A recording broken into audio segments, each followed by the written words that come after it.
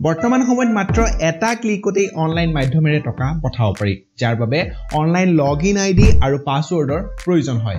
কিন্তু আপুনি যদি অলপ কঠিন পাছৱৰ্ড নাৰাখে তেন্তে এটা ক্লিকতেই আপোনাৰ একাউণ্টটো হেক হ'ব পাৰে। দুহেজাৰ বিছ চনত বহুত বেছি সংখ্যক লোকেই একেবাৰে সহজ সহজ পাছৱৰ্ড ৰাখিছে নিজৰ ফেচবুক গুগল বেংক একাউণ্টৰ লগতে বিভিন্ন একাউণ্টত যাৰ বাবে তেওঁলোকৰ একাউণ্টটো হেক হৈছে।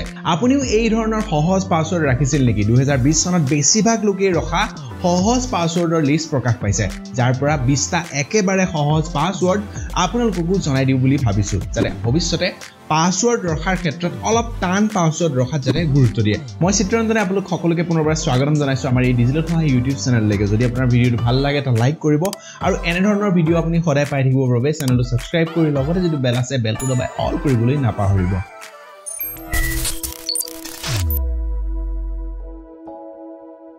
পাছৱৰ্ড মেনেজাৰ এপ নৰ্থ পাছৰ এটা ৰিপৰ্টত দুহেজাৰ বিছ চনৰ দুশতকৈ বেছি একেবাৰে সহজ পাছৱৰ্ডৰ লিষ্ট দিছে য'ত বেছিভাগ মানুহেই এক দুই তিনি চাৰি পাঁচ ব্যৱহাৰ কৰে যি নেকি আধা মিনিটো সময় নালাগে হেক কৰোঁতে। দুহেজাৰ পোন্ধৰ চনৰ এটা ৰিপৰ্টতো এক দুই তিনি চাৰি পাঁচ ছয় পাছৱৰ্ডটো আটাইতকৈ সহজ পাছৱৰ্ড আছিল আৰু পাঁচ বছৰৰ পাছতো সেই একেই অৱস্থা থাকিল কিন্তু শুধৰণি নহ'ল।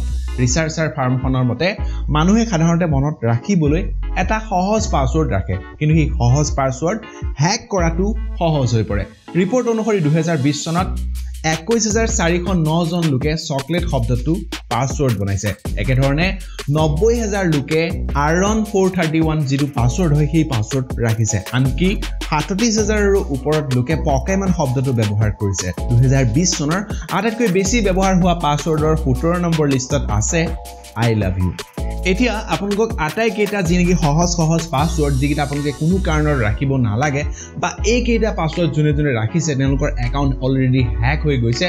গতিকে এই যিকেইটা পাছৱৰ্ড হয় সেই পাছৱৰ্ডকেইটাৰ বিষয়ে আপোনালোকক মই জনাই আছোঁ। আৰু এটা বহুতেই ডাঙৰ ভুল প্ৰায় সকলোৰে কৰে সেইটোৰ বিষয়ে মই আপোনালোকক শেষলৈকে কৈ আছোঁ। প্ৰথম যিটো পাছৱৰ্ড সেইটো হৈছে one two three four five six তাৰ পাছৰ পাছৱৰ্ডটো হৈছে one two three four five six seven eight nine তাৰপাছতে পিকচাৰ ওৱান তাৰপিছত password one two three four five six seven eight one one one one one one one two three one two three one two three four five one two three four five six seven eight nine zero' তাৰপিছত Sneha one two three four five six seven qwerty A B C one two three million two শূন্য আঠটা বা ছটা one two three four I love you iron four thirty one password one Q Q W W one one two two এইকেইটা আছিল top twenty worst password of twenty twenty আৰু বহুতো আছে যে সাধাৰণতে নিজৰ মোবাইল নাম্বাৰটোকেই নিজৰ পাছৱৰ্ড হিচাপে ব্যৱহাৰ কৰে। বেছিভাগে সেইটো কৰে। আটাইতকৈ ডাঙৰ ভুল হৈ যাব যদি আপোনাৰ একাউণ্টত যদি আপুনি মোবাইল নাম্বাৰটোকে যদি পাছৱৰ্ড হিচাপে ব্যৱহাৰ কৰে। কাৰণ চাওক আপোনাৰ যিটো মোবাইল নাম্বাৰ হয় সেইটো বহুতেই জানে আৰু যেতিয়া আপোনাৰ একাউণ্টটো যেতিয়া টাইপ কৰিব কোনোবাই আই ডিটো মোবাইল নাম্বাৰ হিচাপে একেধৰণে যেতিয়া পাছৱৰ্ডটো যেতিয়া মোবাইল নাম্বাৰটো টাইপ কৰি দিব তেতিয়া আপোনাৰ একাউণ্টটো খোল খাই যাব। মানে হেক হৈ যাব। আৰু তেতিয়া আপোনাৰ যিটো একাউণ্ট হয় সেই একাউণ্টটো অপব্যৱহাৰ হ'ব।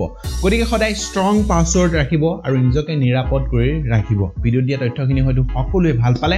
দৈনন্দিন জীৱনত আনন্দৰে ভৰা ভিডিঅ' চোৱাৰ উপৰিও এনেধৰণৰ বিভিন্ন জ্ঞানেৰে ভৰা আৰু বিভিন্ন টেকন'লজিৰ লগত জড়িত যদি আপুনি খবৰ বা বিভিন্ন ধৰণে যদি আপুনি নিজক টেকন'লজিৰ সৈতে যদি জড়িত কৰি ৰাখিম বুলি ভাবে তেনেহ'লে চেনেলটো ছাবস্ক্ৰাইব কৰি লগতে যিটো বেল আছে সেই বেলটো দবাই অল কৰিবলৈ নাপাহৰিব। আৰু অলপ মোৰ মনোবল বঢ়াবলৈ ভিডিঅ'টো লাইক কৰিবলৈ একেবাৰে নাপাহৰিব। অন্য এটা বেলেগ ভিডিঅ'ত আমি আকৌ লগ পাম। ধন্যবাদ জয় অসম